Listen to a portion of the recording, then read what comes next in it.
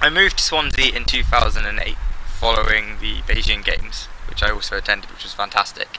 And then it coincided very well with rounding up my A levels. And then the facilities which Swansea offered with the pool and the coach, and then like for my engineering, you know, it made it a, a sure a sure bet.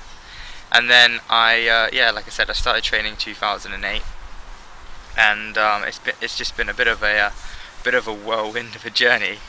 Um, like I was doing 30 hours of training a week, um, which was quite quite a bit of a bit of a balance with my studies. So I put my studies part time, and then um, you know like there was always the big goal of London ever since you know I moved moved to town, and then you know I was fortunate enough to qualify at first trials. We had two trials in 2012 and then uh, I got my official letter of selection, which was a very, very exciting time. The whole, the whole joy of uh, walking around, the little getting onto the podium, and then you know seeing 17,000 people. It was uh, surreal.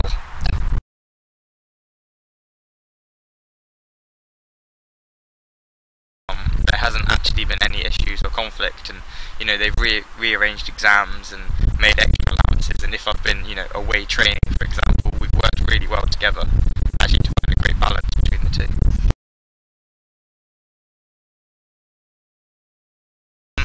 Well, I've got my final year of mechanical engineering to finish up, and that's going really well actually. I got some results recently and they're all good, so quite happy.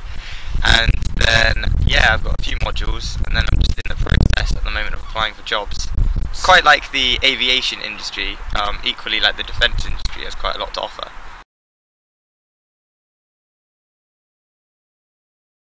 We'll see. Um, I think at break's really good, um, particularly with my studies. This isn't emotional tears.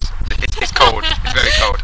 Um, yeah, the uh, the break's doing me really well actually with my studies, and I might go back, but I think the thing with an athlete is you you know when you know you've had like enough's enough, and as enjoyable as it would be to say go to Rio, then um, we'll we'll see. It's like it's a long way off and you know to commit another four years now, I'm I'm, I'm happy just in what I'm doing. So.